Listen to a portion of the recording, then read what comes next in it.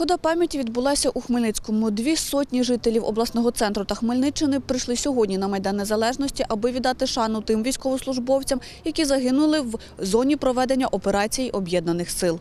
Сид Євген Держ загинув під час виконання бойового завдання у 2015 році під Маріуполем. Жінка розповідає, коли розпочався збройний конфлікт на сході країни, син Валерій Держ добровольцем пішов служити. На передовій пробув півроку. Був сильний відбір. Він там був три дні, пройшов відбір повністю. І в батальйон пішов командиром першої розвідгрупи. Він був розвідником під Маріуполем Павло Піль. Там він і загинув. Коли я запитала його, ну, вже по телефону ми говорили, синок, я кажу, ну чого ж ти? Він відповідь була мам, а хто? Ти підеш, Син Галини Ковальської Анатолій також загинув на сході. Сталося це влітку 2016 року під час виконання бойового завдання. Загинув Анатолій поблизу села Лопаскине Луганської області. і пішов в АТО, був в розвідці. І ще місяць до року і підірвався на міні-фугас. За три дні я знала, що він піде в АТО. Я казав, звичайно, така кожна мама, що нашу тобі, але він був дуже наполегливий і доброзичливий, він хотів добра країні. За період військових дій на сході країни загинуло 234 чоловіка з Хмельницької області. Разом із Євгеною Дереш та Галиною Ковальською згадати бійців, які загинули на Хмельницький майдан незалежності, прийшло дві сотні подолян. Хода ж пам'яті у Хмельницькому відбувалась втретє, каже виконуючий обов'язки керівника центру допомоги учасникам АТО в області Володимир Шрубковський. Кожна субота, перша субота ну, листопада місяця, це в нас є поминальна субота, це згадують всіх тих, кого немає. І ми прекрасно знаємо, що людина жива до того часу, допоки про неї пам'ятають. У 2016 році ми були перші, які проводили такі заходи в області. У 2017 році е, за нашою ідеєю вже підтримали нас Львів і Київ. Також в них була хода, також вона була відбувалася в суботу першу. І вже в 17, ну, в 18 році ну, ми поки що не можемо стверджувати, що ще хтось буде підтримувати, але ми не змінюємо свої традиції і таке згадуємо тих, хто віддав своє життя за Україну. Після літургії на Майдані Незалежності люди рушили вулицями Соборної, Прибузької та Степана Бандери до храму Христа Царя Всесвіту.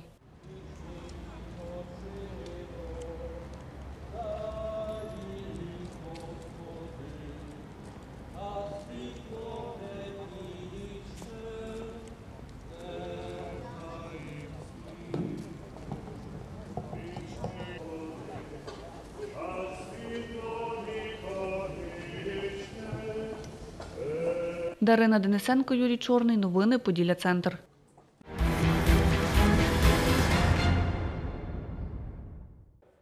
Срібного призера Ігор Нескорених у Сіднеї хмельничанина Віктора Шинкарука сьогодні зустріли у Національній академії Державної прикордонної служби України імені Богдана Хмельницького та відзначили подарунками. якісну підготовку до міжнародних спортивних змагань Ігоря Нескорених. Срібний призер Ігор Нескорених у плаванні на дистанції 50 метрів Віктор Шинкарук зізнається, виклався на всі 100, аби здобути золото у Сіднеї. Йому не вистачило двох десятих секунди, аби зайняти найвищий щабель на п'єдесталі. Програв торкання, ну не тому, що програв техні, технічно, чи не вистачило е, там впевненості, чи е, просто, просто як провтика кажуть.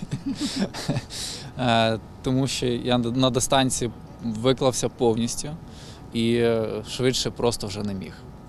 Все, що було, я виклав. Так само, як і на дистанції 50 метрів брасом, так само на дистанції 100 метрів вільним стилем і 50 метрів вільним стилем. Віктор Шинкарук каже, у наступних іграх нескорених участь брати не буде та планує готувати до всесвітніх змагань прикордонників, які отримали поранення під час виконання службових обов'язків.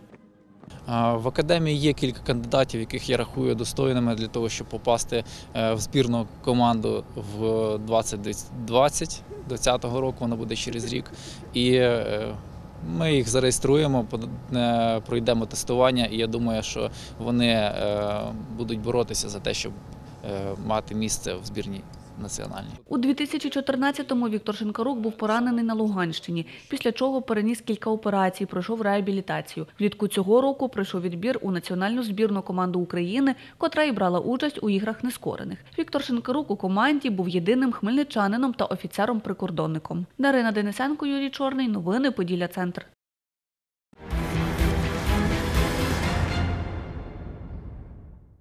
Програма бюджет участі передбачає залучення громадськості до часткового розподілу бюджетних коштів міста, направити їх в ті сфери життєдіяльності, де громада бачить найбільш проблемні питання або можливості розвитку, каже начальник управління економіки Хмельницької міської ради Оксана Новодон. В цьому році виділили 2 мільйони е, гривень е, з міського бюджету для того, щоб дійсно впровадити такі проекти у життя. Освіта школярів лікарні один із проєктів, за який можна буде голосувати цьогоріч. Його авторка Наталія Гринишина розповідає, що разом із колегами хочуть зробити невеличкий клас в приміщенні Хмельницької міської дитячої лікарні для дітей шкільного віку, які перебувають на стаціонарному лікуванні понад місяць. На даний проект ми передбачили 150 тисяч. Це організація безпосередньо кімнати, закупівля е, необхідних матеріалів для проведення е, цих заходів.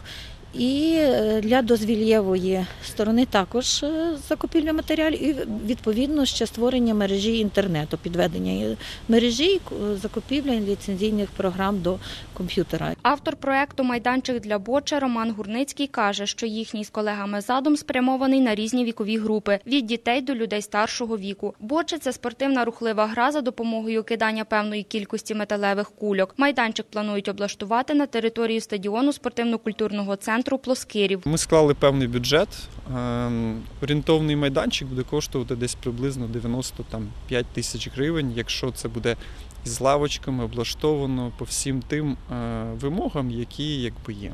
У минулому році в рамках бюджету участі з кількістю голосів 994 проект Активне дитинство Здорова нація виграв 100 тисяч гривень. За отримані кошти облаштували дитячий спортивний зал у Хмельницькому дошкільному навчальному закладі номер 32, розповідає автор проекту Валентина Богачук. Завдяки цьому проекту ми на сьогоднішній день маємо можливість з нашими дітками займатися такими новими, цікавими, різними спортивними е, приладдями, е, де діти отримують масу задоволення, де дітям дуже цікаво. Зал обладнали за місяць, придбали сенсорні доріжки, масажні килимки, сухий басейн, різноманітні сенсорні м'ячі та інші приладдя для занять, додає Валентина Богачук. За словами начальника управління економіки Хмельницької міськради Оксани Новодон, цьогорічних проєктів надійшло 102. Комісія до голосування обрала 28. Кошти з бюджету розділятимуть за напрямками всіх галузей. У нас декілька змін в цьому році здійснилося. По-перше, ми зараз розширили аудиторію реалізації проекту. Якщо раніше міг подати тільки мешканець Хмельницького, то зараз це людина, яка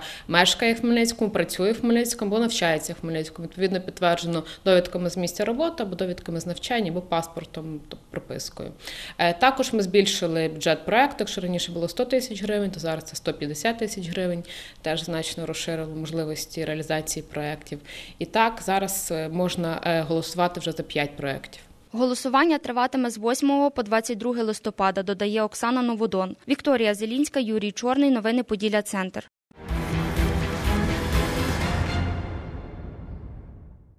Хмельничанка Інна Федорів мешкає у районі Гречан. Щоранку із сином їде до школи. З дитиною е, потрібно десь виходити без 28, щоб попасти на тролейбус, тому що з 8 годин тролейбуси абсолютно переповнені. Для контролю руху громадського транспорту інколи користуються онлайн-системою Дозор, розповідає Інна Федорів. За допомогою GPS пасажири відслідковують схему руху тролейбусу чи маршрутного таксі. Буває нормально, можливо, в той час попасти, а буває, що трошки там, наприклад, тролейбус має бути в 25 минут, а він же поїхав в 20. Ну це не суттєво, але розчитують люди на те все. Заступник міського голови Хмельницької міської ради Андрій Бондаренко розповідає, деякі маршрути не оснащені GPS. Відслідкувати графік їхнього руху складно. У нас є транспортні засоби, які працюють за тимчасовими договорами. Вони не виграли конкурс. На цих маршрутах е, немає постійного перевізника, тому кожні три місяці ми укладаємо договори з перевізниками щодо обслуговування того чи іншого маршрута. Звичайно, в таких перевізників транспортних засобів такого перевізника нема е, GPS-трекерів. Володимир Швець громадським транспортом користується понад 25 років. Каже, маршрутні таксі з графіку збиваються. От я їду в дальні речани, чекаю хвилин, буває 20-30. Просто вивчити рух пасажирів в різні частини міста і потім відповідно змінити графік руху маршруту. За перший місяць роботи розумних зупинок міська влада розірвала договір із одним із перевізників, розповідає заступник міського голови Андрій Бондаренко. Перші дні е, моніторили, як працює транспорт, чи кожен транспортний засіб, який е, приїжджає на зупи- на зупинку, він е, там працює GPS-навігація, і е, в його чи співпадає його прибуття з графіками руху. І якраз от за підсумками цієї роботи ми склали декілька актів, і за результатами цього ми вийшли з пропозицією з одним з перевізником розірвати договір на перевезення. Це по 43 і 9 маршруту. Ми не змогли отримати коментар від перевізника, з яким міська влада розірвала договір. Директор підприємства відмовив у коментарі. Не захотіли коментувати ситуацію із встановлення GPS у громадському транспорті решта перевізників обласного центру, з якими ми змогли поспілкуватись. Анастасія Олексюк, Олександр Горішевський, Віктор Кривий. Новини Поділля Центр.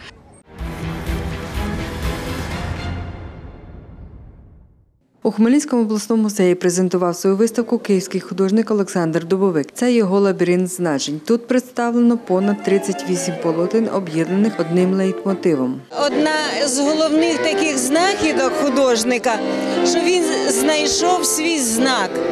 Знак, який присутній от на всіх роботах. Це якби прорив, вічність. Перший план, другий план, третій план, тому що всі його картини, всі його роботи це надзвичайно глибокі, складні е, сюжети. І для їх е, осягнення треба ну, постійно з'ясовувати, думати, е, щоб якесь таке проникнення було. Це головна ідея моєї виставки, взагалі творчості. Це моє відкриття. Що таке білий букет? Це єдність, це символ цілісності, це символ, символ українського духу, це символ, символ взагалі духу людського. Оце ідея даго, ідея цілісності. І я навіть вважаю, що це може бути ідеєю, ідеєю українського духу. Хмельницький художник Михайло Андрійчук з творчістю Олександра Дубовика познайомився на відкритті його виставки. Каже, його картини змушують замислитись. Його представлені роботи мене цікавлять тим, що в них є показана винахідливість автора і композиції дещо несподівані, оригінальні. І глядач, в тому числі і я, маю прочитувати ці композиції. Такої ж думки і відвідувачка виставки Анжела Махмутова. Зміст, який завуальований, який прихований, але який разом з тим і зовні. Дуже цікаво розмірковувати біля кожної картини, можна простояти з думками. Свої картини Олександр Дубовик у Хмельницькому експонує вперше, каже директор Хмельницького обласного музею Ольга Долінська. Вперше у наших стінах експонується персональна виставка Олександра Дубовика Лабіринт значень. Олександр Дубовик це легендарний митець-шістдесятник. Це один із стовпів вітчизняного авангарду. Один, а можливо, і кращий художник України за версією арт-галереї України. Це патріарх українського живопису. І те, що ми маємо честь виставляти його роботи, це дуже вагомо для нашого закладу. Виставка картин Лабіринт значень триватиме у Хмельницькому обласному художньому музеї до 30 грудня. Тетяна Ворожцова, Юрій Чорній. Новини Поділля Центр.